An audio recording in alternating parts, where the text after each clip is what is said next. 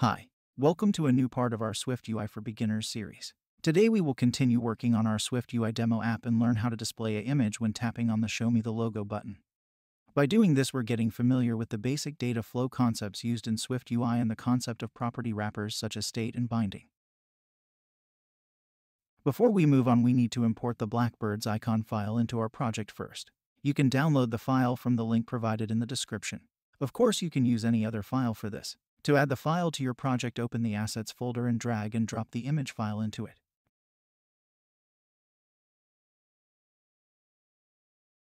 Make sure the image is named correctly.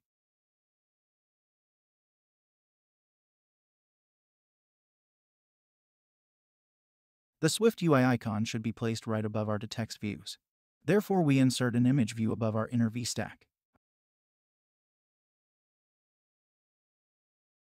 By using a plain image view without any modifiers, SwiftUI simply inserts the full-sized image into our content view's body. Therefore, we need to give the image a frame which serves as a fixed-sized container for it.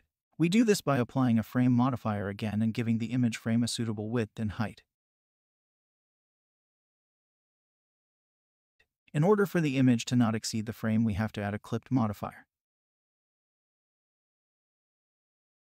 The clipped modifier cuts out the area of the view that exceeds the specified frame. Next, we need to resize the image so that it fits into the frame. However, we want to achieve this without distorting the dimensions of the original image. To change the scaling of an image, we must use the resizable modifier first. The resizable modifier must be applied to enable changing the scaling of an image. It is important that the resizable modifier is the first modifier of the image view. Next, we apply the aspect ratio modifier. This modifier scales the image so that it fits into the frame by using the specified dimensions. For keeping the original dimensions of the image, we can choose between the fill or fit content mode. Fill scales the image so that the entire frame gets filled out. The fit content mode makes sure that the entire image is visible within the frame. In our example, we choose fill as the content mode. We want the image to be only displayed after the user tapped on the button. But how can we achieve this functionality? To keep track of whether the corresponding image view should be shown or not, we declare a show icon variable above our content view's body. At default, the logo shouldn't be shown, so let's assign false to it. We only want to show the image when the show icon property is true. Thus, we conditionally initialize the image view by using an if statement inside the outer VStack.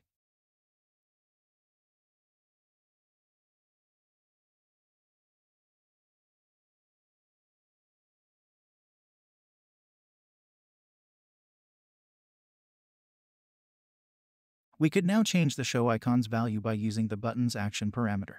But note the following. Whenever the user taps on the button, the show icon property gets toggled. Toggling means that the property gets true when it's false and the other way around. However, this wouldn't tell the content view to update its body. Although the show icon would get true when the user taps the button, the content view wouldn't notice. Therefore, it wouldn't initialize the image view by executing the code inside the if statement. So how can we get the view to rebuild itself when the user taps the button? For this purpose, SwiftUI provides us with the so-called state property wrapper. You can recognize property wrappers by the at symbol. They equip variables with a specific logic depending on the type of the property wrapper we use. This logic is the core of the data flow concept in SwiftUI. So understanding property wrappers is really important. State is probably the most frequently used property wrapper in SwiftUI. We'll get to know most of the other ones throughout this series. Anyway, we start with this basic one. You can easily declare a state by putting the at state keyword in front of a variable. Let's do this with our show icon property. Remember that state properties must always be related to a view, so make sure you always declare them inside a view struct but not inside the view's body. We can now toggle the show icon state when the user taps the button.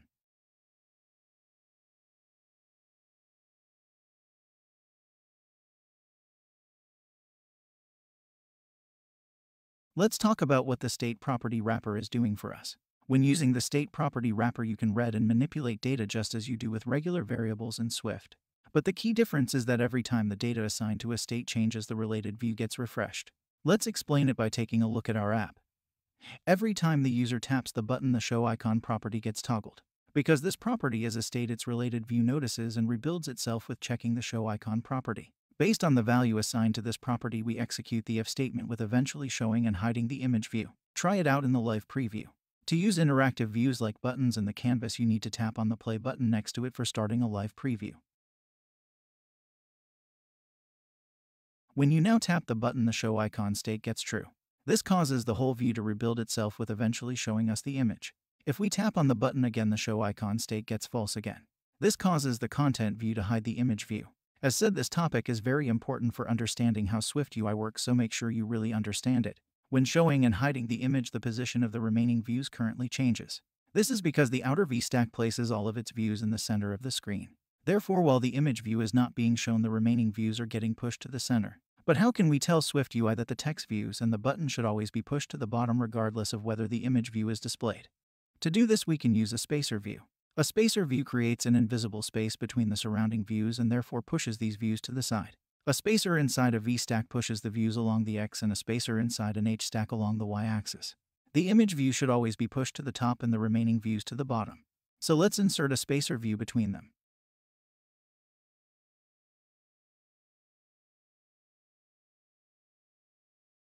However, we want our views to be a bit more far away from the upper and lower edge. Therefore, we add a top padding to the image view.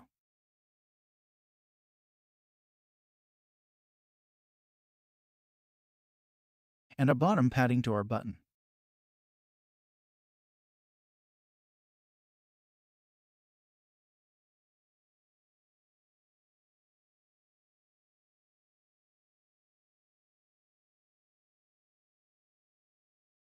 Let's start a live preview again.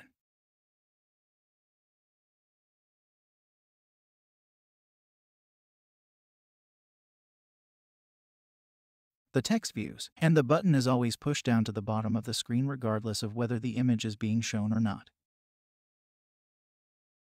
Until now we only worked inside our content view struct. However, such structs can easily get confusing when they grow and grow as we add more views to them. Therefore, it's best practice to outsource views in their own structs whenever it's possible. So let's say we want to outsource our button view. To do this command, click on it and click on Extract Subview. Next, name your outsourced view for example logo button. Now we receive an error. This is because when outsourcing a view it gets wrapped into its own struct. But currently the logo button struct itself doesn't own a property called show icon. To fix this we need to insert an appropriate property into our outsourced logo button struct. But instead of creating a state property on its own we want to have a property that derives its data from the show icon state of our content view. We do this in order to enable data flow between them. To do this, we declare a binding property that's also called show icon above our logo button's body. Since we want it to derive its content from the show icon state of the content view, we don't assign any data to it. Instead, we pass the data assigned to the show icon state in our content view when initializing the outsourced logo button view.